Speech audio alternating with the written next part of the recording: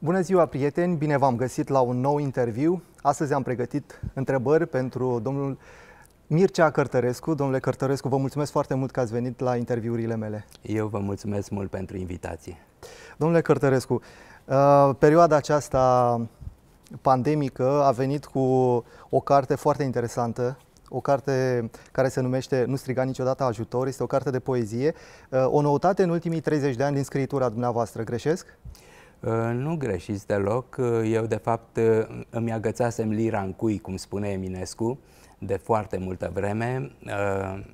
Încă de la vârsta de 30 de ani m-am gândit să scriu proză pentru că, de fapt, proza a fost pentru mine întotdeauna un fel de ideal de scritură și, pe de altă parte, scrisesem foarte multă poezie și mi s-a părut întotdeauna că e destul, că nu trebuie scrisă multă, o cantitate mare de poezie.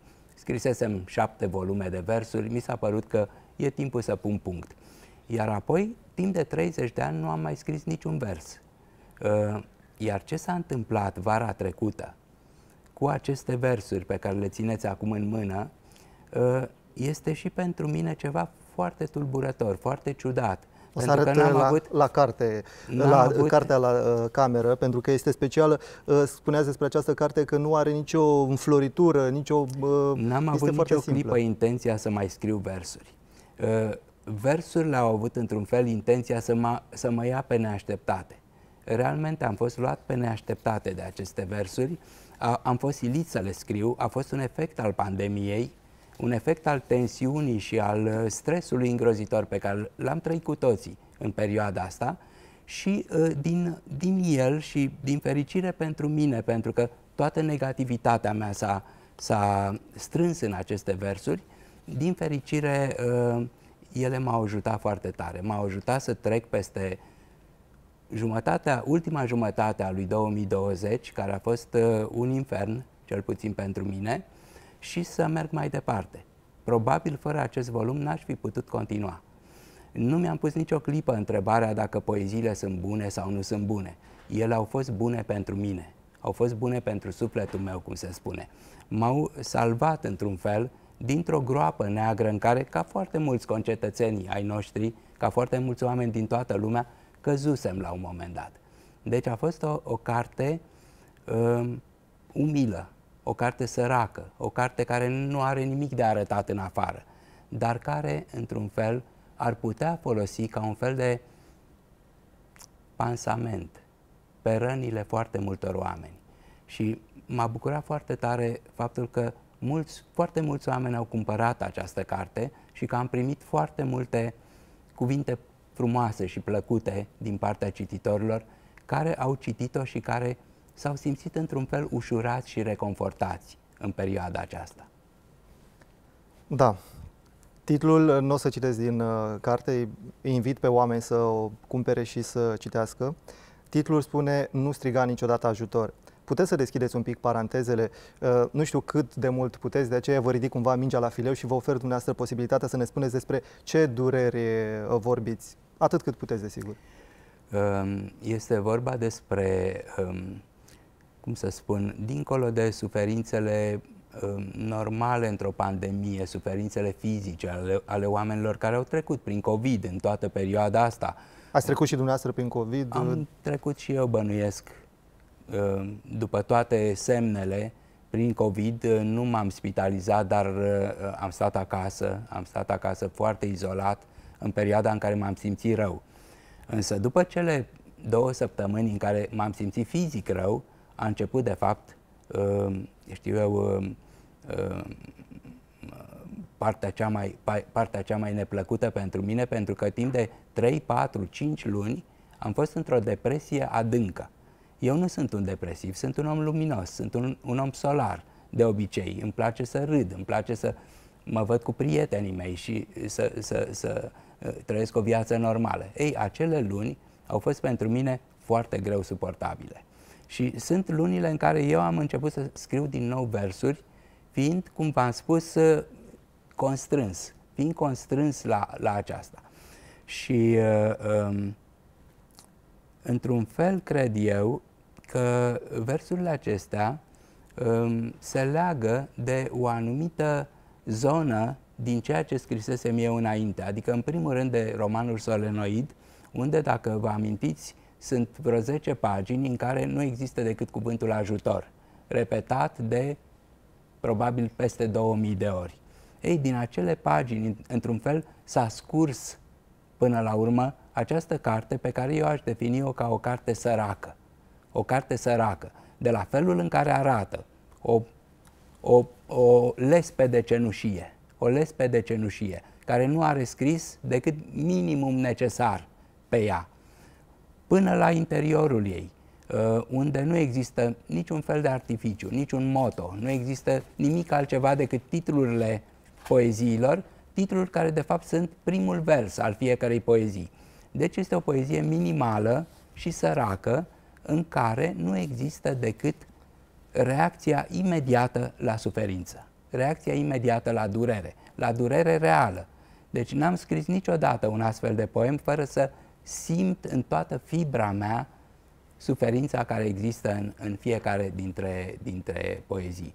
Deci acestei cărți se poate reproșa orice, dar nu și lipsa de sinceritate. Este cea mai sinceră carte pe care am scris-o eu vreodată și v-am mai spus, este o carte care probabil difuzează, emană în jurul ei acest sentiment de adevăr. Este adevărat, este suferința adevărată, este strigăt adevărat. Noi când suferim nu facem floricele de stil, nu ne mai arde de literatură, nu ne mai arde de, uh, știu eu, poetizare. Când strigi, când uh, suferi, strigi. Și toată această carte este de fapt un fel de colecție de strigăte de ajutor, de strigăte disperate, pe care probabil cei care au trecut prin același lucru prin care am trecut și eu, le pot auzi. Le pot auzi și se pot simți reconfortați, pentru că pot vedea că nu, nu sunt singuri, nu trec singuri prin ceea ce au trecut milioane de, de oameni în perioada asta, ci există cineva care le aduce o cutie de rezonanță pentru suferința lor, le aduce un, un uh, paleativ, să spunem. Dar spuneți, nu striga niciodată ajutor. Același lucru l-ați făcut, ați stat acasă în perioada în care ați avut COVID, nu v-ați dus la spital. Pot să vă întreb de ce nu ați mers la spital? Cumva să trecem în, în zona mai prezentului, mai Da, eu am un, am un prieten foarte bun, un om minunat, uh, care este medic, uh, unul dintre cei mai buni medici ai noștri. Și când m-am simțit rău, i-am dat telefon și i-am spus, uh, uite, am niște simptome, ce să fac? Și el mi-a spus, mai bine stai acasă, pentru că dacă te duci la spital și nu ai COVID, sigur îl iei de acolo. Așa mi-a spus el și i-am ascultat sfatul. Până la urmă, cred că a ieșit foarte bine, pentru că nici cei din familia mea nu au, nu au luat această boală. Uh, prin urmare, m-am izolat foarte bine. Uh-huh. Suntem într-o perioadă în care stăm foarte mult acasă. Uh-huh. Teoretic, ar trebui să citim foarte mult din punctul dumneavoastră de vedere, a început să citească românul mult în această perioadă, pentru că, înainte de pandemie, România era ultima țară la nivelul Uniunii Europene cu foarte puțini oameni care citeau. Eu făcusem un calcul de un milion de oameni, să zicem, care cumpără cel puțin o carte pe an. Dumneavoastră a spus că sunt optimist și că sunt mult mai puțini. Cum credeți? Cum și de ce românul citește atât de puțin? Um, vedeți, nu e, nu e greu de înțeles lucrul acesta. Noi nu suntem pe ultimele locuri în Uniunea Europeană doar la lectură. Suntem pe ultimele locuri la aproape orice, la orice, um, știu eu, uh, lucru pozitiv, să spunem așa. Suntem pe primele locuri la altele, la lucruri negative. Dar uh, cred că și lectura și uh, factorii ceilalți, social, politici, economici și așa mai departe, toate au o singură rădăcină, care este educația. După părerea mea, um, ceea ce lipsește multora dintre concetățenii noștri, nu tuturor din fericire, este o educație adecvată, o educație uh, adevărată, o educație care să-i pregătească pentru uh, situația lor de cetățeni a Europei, de oameni civilizați, de oameni care pot înțelege cu mintea lor fenomenele complicate, e adevărat, care există uh, în lume peste tot în jurul lor. Deci eu cred că e o chestiune de educație dacă suntem ultimii în Europa uh, știu eu, la toate, la toate aceste uh, indicatoare. Uh, și, într-adevăr, uh, românii nu citesc foarte mult, uh, mai ales astăzi, în, uh, în situația în care nimeni în lume nu mai citește atât de mult cum citea înainte. Uh, nu putem face comparația cu uh, situația de acum 20, 30 sau 40 de ani, când încă aceste extraordinar de uh, puternice tendințe din tehnologie și din medii încă nu apăruseră. Facebook-ul și celelalte rețele de socializare au schimbat absolut totul. Cum, cum au schimbat? Este foarte simplu, au produs o revoluție în felul nostru de a Uh, cum să zic, a procesa informația. Uh, pe Facebook avem nenumărate bucățele de informație uh, cu tendința ca imaginea să fie din ce în ce mai prezentă, iar textul să fie din ce în ce mai scurt și mai, mai concis. Pe Instagram, de pildă, textul aproape că nu mai este. Pe Twitter se reduce la câteva sute de cuvinte.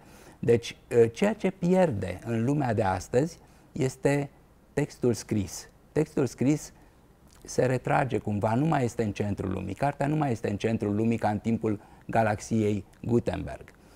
Cu toate acestea, ă, cred că nu se poate învăța cu adevărat ceva decât din textul scris. Imaginile nu te învață, imaginile te pot influența, te pot face mai sensibil, te pot face mai, ă, știu eu, mai uman, dar nu te învață lucruri.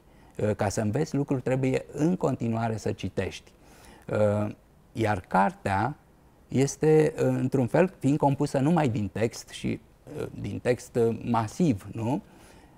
Într-un fel este într-o poziție vulnerabilă astăzi față de medii, față de film, față de jocurile video, față de alte, de, față de realitatea virtuală care va veni peste noi în perioada următoare.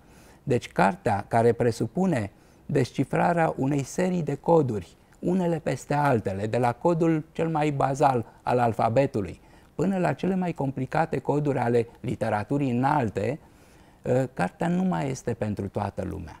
Ă, foarte mulți oameni încep să respingă aceste, această complexitate. Un cititor trebuie să fie la fel de ă, complex ca și scriitorul care a scris o carte, ceea ce nu se cere de obicei cuiva care se uită la un film, de pildă, sau care se joacă pe un joc video. Uh, deci această complexitate cere un anumit tip de om.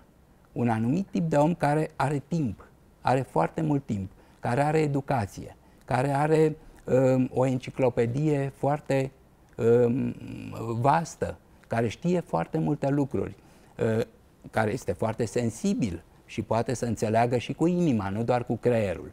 Deci un om care uh, ar putea fi un cititor ideal. Acești cititori sunt puțini. Se citește, în general, în România, non-fiction. Se citesc cărți despre politică, cărți de... Dezvoltare personală foarte Dezvoltare mult. personală foarte mult, cărți care te învață cum să trăiești viața.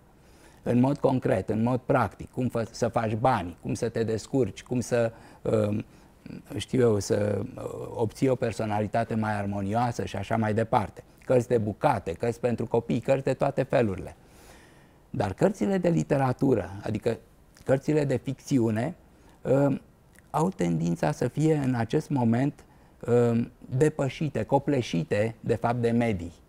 Medii care au devenit și ele foarte sofisticate, pline de efecte speciale, de imagini formidabile și în medii este o creativitate extraordinară în ultima vreme. Uh, dacă ați ajuns la ultimele jocuri video, de pildă Bioshock Infinite, de pildă, uh, acolo creativitatea este colosală, este de neimaginat. Și toate aceste tipuri de, uh, știu eu, de experiențe vizuale erodează lumea cărții. O erodează. Copiii de acum sau adolescenții nu mai au atâta răbdare să citească încet, rând cu rând, dialog cu dialog, pagină cu pagină și să-și imagineze, este un efort să-ți imaginezi tu însuți uh, uh, întâmplările care se, care se descriu în cărți. Deci un cititor este un om care muncește foarte tare, cum nu muncesc cei care, uh, știu eu, privesc niște spectacole media, în general. Sigur că și acelea pot fi complexe, dar o carte e mai complexă decât orice altceva. Și atunci cititorii profesionali, să spunem așa, cititorii specializați care citesc literatură înaltă, care au idee despre Joyce, despre Kafka, despre Tolstoi, despre Dostoevski, sunt mai puțini. Sunt mai puțini în, ziua, în zilele noastre și și mai puțin citesc literatură contemporană. Totuși, rămâne, și eu sunt optimist, rămâne un nucleu dur, să spunem așa, de cititori. Rămâne un nucleu de oameni foarte cultivați, foarte inteligenți, care pot avea diverse meserii, medici, juriști, jurnaliști, de toate felurile, oamenii uh, oarecum, uh, știu eu, cultivați, care continuă să citească, continuă să se bucure de poezie, continuă să se bucure de un roman bun, continuă să se bucure de povestiri. Uh, deci este o elită, aș spune eu, între ghilimele, care continuă să citească. Eu aș estima că în România sunt aproximativ 50.000 de persoane care citesc serios literatură, care citesc literatură serioasă. Și oameni mai în vârstă și oameni mai tineri. Deci eu nu văd viitorul literaturii uh, ca fiind, ca, fiind, uh, ca un fel de specie pe care de dispariție. Nu, eu cred că literatura va rămâne întotdeauna, că este o necesitate a fiecărui om, că într-un fel te înalță, te scoate din condiția ta de om uh, de pe stradă, să spunem, te înalță către altceva. Eu cred în acest altceva. Cred că deasupra noastră este o lume uh, intelectuală, o lume artistică, o lume morală, de toate felurile, uh, către care noi tindem. Și literatura este o cale către ea, cred eu. Spuneți-mi un lucru. Sunteți profesor la facultate de 30 de ani. Ați ajuns, pot să spun asta, bănuiesc, în pragul pensiei. Cum era generația de acum 30 de ani și cum este generația de astăzi pe care o păstoriți? Generația de, să zicem, de viitori scriitori. Uh, eu iubesc foarte mult oamenii tineri, trebuie să vă spun. De asta pentru mine a fost întotdeauna o bucurie să predau la facultate. Pentru că este un mediu uh, care uh, favorizează comunicarea din ambele părți. Uh, nu profesorul îi învață pe studenți, în primul rând. Studenții îl învață pe profesor. Fiecare generație are altceva de spus, are altă mentalitate, are altfel de a procesa lucrurile uh, și profesorul trebuie să rămână într-un fel conectat, să rămână conectat cu studenții săi. Un profesor este ca un actor în fața unui public. Uh, toți actorii știu că publicul evoluează, că publicul de acum 10 ani nu mai este publicul de astăzi. Este exact la fel și experiența de profesor la universitate, la facultate. Și din punctul ăsta de vedere pot să vă spun că nu am constatat o evoluție sau o involuție în uh, cadrul, uh, să zicem, adică în privința uh, inteligenței uh, bazale a studenților mei. Studenții mei și acum 30 de ani și astăzi uh, au fost oameni inteligenți și oameni care vor să învețe, care voiau să învețe. Există o diferență. Oamenii de acum 30 de ani erau mai citiți. Erau mai citiți, știau mai multe lucruri, uh, nu porneam de la nivelul la care trebuie să pornesc astăzi. Uh, astăzi fac lucrurile mai bazal. Uh, Dați-ne un exemplu concret ca să înțelegem. Erau, înțeleg că erau mai erudiți studenții de acum 30 de ani față de cei de acum. Ce trebuie să facă profesorul Mircea Cărtărescu pentru studenții de astăzi? Uh, vedeți faptul că erau, oamenii erau înainte mai uh, cultivați inițial, veneau din învățământul uh, liceal cu mai multe cunoștințe, dar și citeau mai mult ei personal, pentru că se citea mai mult acum 30 de ani, nu este neapărat, neapărat un avantaj. Un avantaj, un avantaj foarte mare este și să iei niște studenți care sunt tabula rasa. Cel puțin nu au prostii vârâte în cap. Cel puțin nu trebuie să le scoți mai întâi cu un efort uriaș uh, neghina și pălămida, cum se zice, din minte uh, și să uh, o înlocuiești cu lucruri pozitive. Pălămida pusă de sistemul de învățământ din România. De din sistemul acele... de învățământ din România.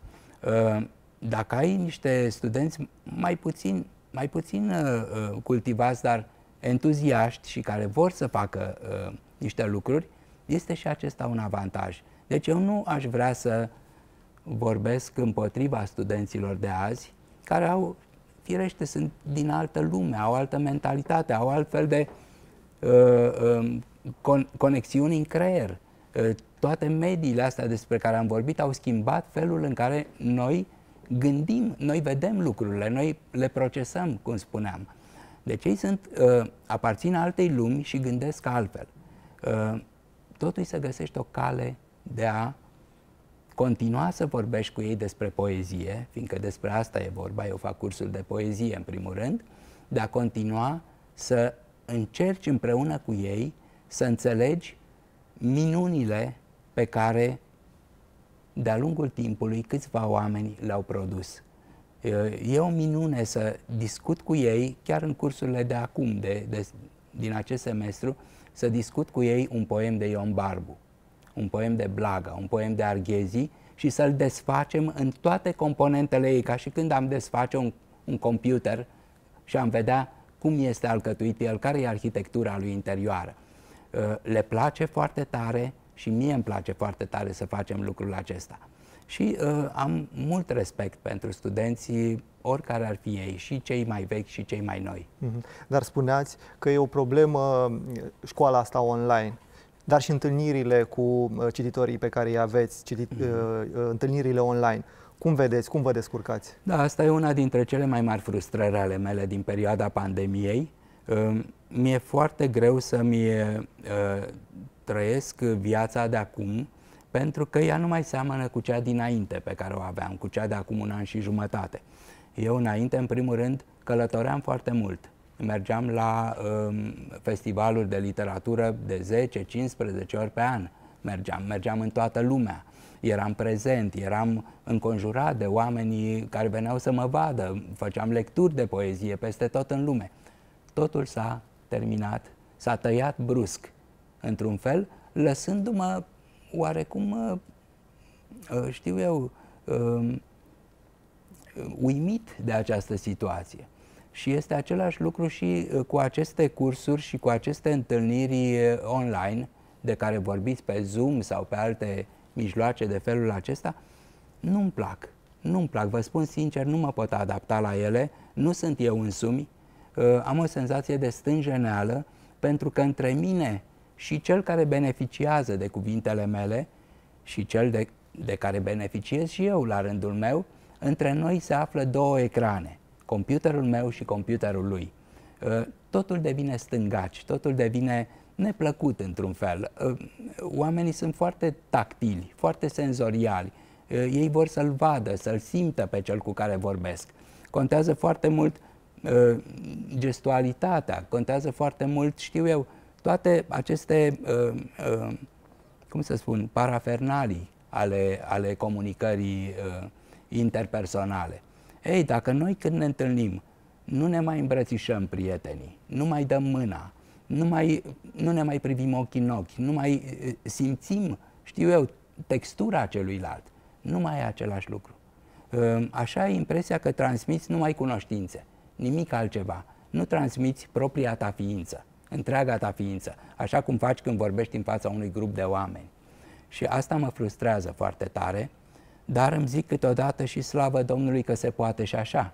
Ce ne făceam dacă nu aveam această tehnologie și trebuia să întrerupem uh, întâlnirile noastre față în față cu studenții, cu oamenii care ne citesc cărțile, etc. Până la urmă este un erzaț, este un paleativ, să spunem, necesar. Mm-hmm. Aș vrea să trecem un pic în uh, zona mai uh, umoristică. Povestesc la un moment dat uh, un caz și mi-a rămas în memorie. Mă gândesc că e foarte multă tristețe în jur și n-aș vrea să rămânem atât de mult cramponați în asta. Povesteați că ați călătorit foarte mult și că uh, până la urmă cei mai buni cititori pe care i-ați întâlnit erau germanii. Dar povesteați un caz, dacă puteți să ne mai deschideți un pic parantezele, când ați fost în Mexic și ați, v-ați trezit brusc înconjurați de niște interlopi care erau, păreau să fie interlopi români. Cum a fost? Ne puteți spune? Um, atunci, în momentul acela, când eram pe aeroport, nu am uh, avut niciun fel de intuiție a, a situației bizare în care mă aflam, dar mai târziu, când am aflat că un grup din acesta de români face ravagii prin Mexic și că unul dintre ei... În ce an era? Acum doi ani. Doi ani. Uh-huh. Că unul dintre ei făcea trafic de persoane peste zidul acela lui Trump, care desparte Statele Unite de Mexic, etc. Și că făceau miliarde, miliarde de dolari din afacerile lor interlope. Mi-am readus aminte toată acea uh, scenă în care eu și soția mea ne aflam pe aeroportul uh, din... Uh, Guadalajara, din, parcă. Parcă din Guadalajara sau din Ciudad de Mexico, nu mai țin minte. Și era un grup mare de români care vorbeau ca galeriile de fotbal sau ca la crâșmă sau mai știu eu, în felul acesta în care felul acesta extraordinar de neplăcut în care vorbesc cu oamenii care, cum se zice, se dau șmecheri, care sunt uh, plini de sine și uh, nepăsători față de tot ce e în jurul lor. Vorbeau tare, se strigau peste rânduri, se înjurau, mă rog, uh, lucruri de felul acesta. Și atunci m-am gândit eu, ăștia ar fi fost cei pe care îi căuta poliția uh, mexicană. Da, din păcate, eu aș spune, eu n-am, n-am niciun fel de desconsiderare față de nația din care provin, din potrivă, uh, mi se pare un lucru, cum să zic, uh, normal și plăcut să te naști în orice, în orice națiune, să spunem așa. Uh, nu aș fi, știu eu, dezamăgit de niciuna în care m-aș fi născut din întâmplare.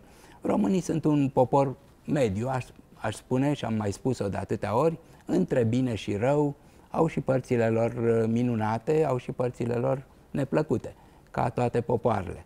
Uh, tendința din ultima vreme uh, sau sentimentul din ultima vreme că lumea mai joasă, așa să zicem între ghilimele, fiindcă n-am niciun fel de dispreț pentru nimeni, de fapt, lumea mai puțin educată, mai puțin cultivată, iese la suprafață așa în ultimul timp cred că este dată și de medii foarte tare. Eu cred că această lume a existat întotdeauna, dar ea n-a avut posibilitatea să se exprime.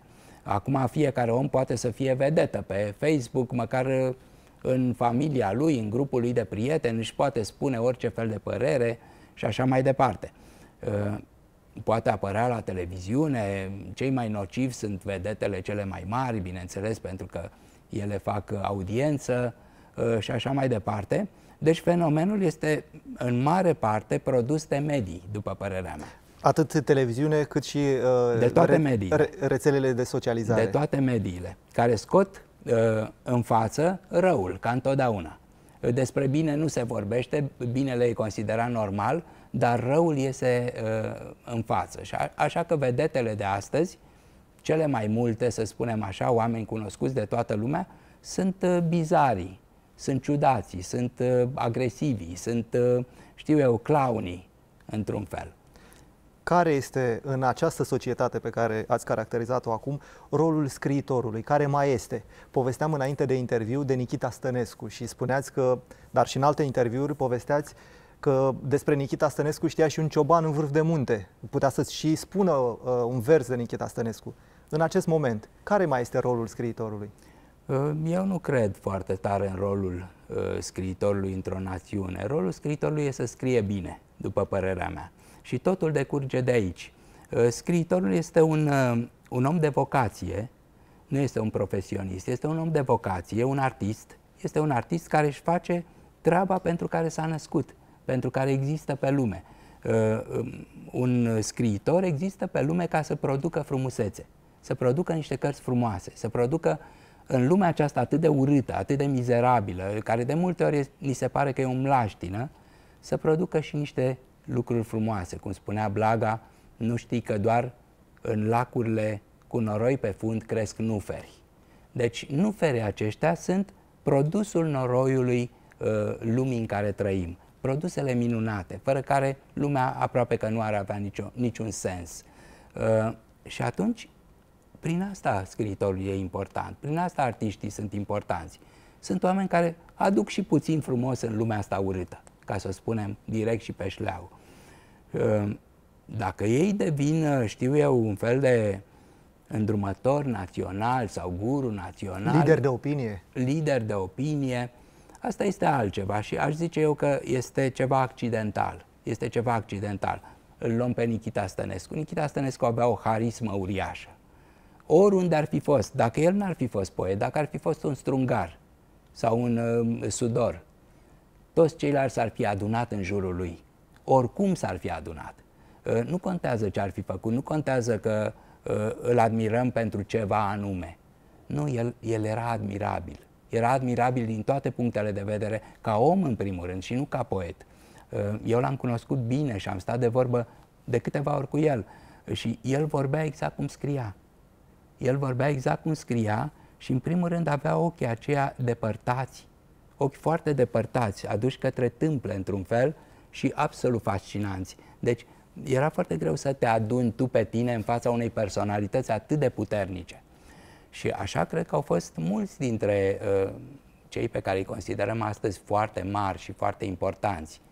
Uh, și atunci ei, lor le-a fost ușor să fie un fel de spirite naționale, un fel de vedete naționale. Dar nu toți scriitorii sunt așa. Unii dintre ei au fost total retrași, total nesemnificativ ca oameni, dar au dat totuși niște scrieri extraordinare. Mhm. La un moment dat, spuneați, uh, criticați uh, școala românească și ceea ce produce și literatura pe care o regăsim acolo dar totuși ați auzit de faptul că uh, o bucată din solenoid a fost la evaluarea națională acum, de curând, uh, pentru elevi, iar uh, profesorii care au comentat ce li s-a dat copiilor ziceau că este foarte complicat. A fost, nu s-au regăsit, era destul de greu. Cum credeți? E chiar greu pentru un copil să, din clasa a 7 a 8 să înțeleagă un text de Mircea Cărtărescu? Uh, vedeți, este o mare problemă, dincolo de faptul că un text al meu întâmplător a fost la o astfel de evaluare, uh, dar este o mare problemă poate și la alte discipline, însă la disciplina uh, la care ne referim noi concret acum la literatură, este o uriașă problemă în privința programelor de învățământ. Gândiți-vă că ultimii scriitori care se studiază cu adevărat în școala românească sunt de acum 60-70 de ani. Deci, ă, ă, după ă, mințile celor care alcătuiesc aceste programe, nu s-a mai scris literatură bună în ultima viață de om, de 70 de ani încoace. De la Nikita Stănescu, Ultimii Carghezi, de care se menționează, dar nu sunt, nu sunt cei, cei studiați cu adevărat, sunt undeva la sfârșitul manualelor, sunt într-adevăr cei din generația 60 Firește, ei merită cu asupra de măsură să fie manuale, dar și după ei s-a scris literatură. Acest, acest vid de literatură română timp de 60-70 de ani este absolut inacceptabil. Sunt și alte lucruri inacceptabile. Absența aproape totală a femeilor, de pildă, din programele de literatură. Am avut scriitoare, am avut scriitoare importante. Nu se regăsesc. E ca și când toată literatura română ar fi fost scrisă doar de bărbați. Ceea ce, în contextul lumii de azi, care este atât de sensibilă la aceste probleme, probleme ideologice reale, aș spune eu, nu inventate, uh, este um, un lucru care ține de lipsă de civilizație, pur și simplu. Mm. Lipsă de civilizație, de sexism, de, știu eu, um, uh, desconsiderare inconștientă a celei mai, celei mai bune jumătăți a populației noastre. Domnule Cărtărescu, ultima întrebare. Știu că ați declarat în repetate rânduri că nu ați plecat din România și de fiecare dată când ați călătorit v-ați întors în țară. De ce nu ați plecat din România? De ce rămâneți în țară? Um, răspunsul meu variază după epocile uh, prin care am trecut. Uh, inițial, firește, n-am putut pleca din țară. Eu mi-am trăit jumătate din viață în comunism, mai mult de jumătate din viață atunci nu se punea problema să ieși din țară. Ehm, iar apoi, într-adevăr, am început să călătoresc foarte tare și în prima mea călătorie în Statele Unite, am stat trei luni în Statele Unite în 1990, am fost atât de um, copleșit de tot ce, tot ce am văzut. Acolo veneam dintr-o văgăună în pământ, din România care era total distrusă, totul era ruginit. Nu mai vorbesc de um, dictatură, de toate lucrurile astea am ajuns în centrul New Yorkului. Vă dați seama ce, ce conflict din acesta extraordinar în, în interiorul meu s-a produs. Și când a fost să plec, ă, atunci într-adevăr am dat cu banul. Am dat cu banul și banul a căzut pe partea românească, să spunem așa. Deci da. da, ați dat cu banul la modul Pe concret. aeroport, pe JFK pe uh, aeroportul și din... soarta, norocul, Dumnezeu, oricine a decis că dumneavoastră să rămâneți în România. Și Banul s-a învârtit în aer și a căzut pe partea pe care și-a dorit-o el, nu pe cea pe care am dorit-o eu. Dar eu îmi spusesem înainte, orice s-ar întâmpla, urmez uh, acest uh, destin până la urmă. Uh, banul a căzut pe partea cu România și m-am întors în România. Uh, ce să spun? Cine aș fi fost dacă aș fi rămas atunci, acum 30 de ani, în Statele Unite? Nu știu. Nu știu dacă ar fi fost mai bine sau mai rău, aș fi, fost, aș fi avut cu totul și cu totul altă viață.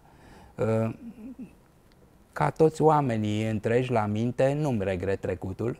Cred că s-a întâmplat așa cum trebuia să se întâmple și uh, nu am motive să mă plâng de faptul că am rămas în România. Eu mă simt bine între concetățenii mei, simt că am o legitimitate care în altă parte poate că n-aș fi avut-o, poate aș fi trăit mai bine, dar nu este cel mai important lucru să trăiești mai bine. Cel mai important lucru este împlinești pe tine însuți, să uh, simți că nu ți-ai bătut joc de puținul talent pe care ți l-a dat Dumnezeu, că uh, ai făcut tot ce puteai face uh, prin felul în care tu ai fost uh, construit. Domnule Cărtărescu, vă mulțumesc foarte mult pentru interviu. Vă mulțumesc și eu, mi-a făcut mare plăcere.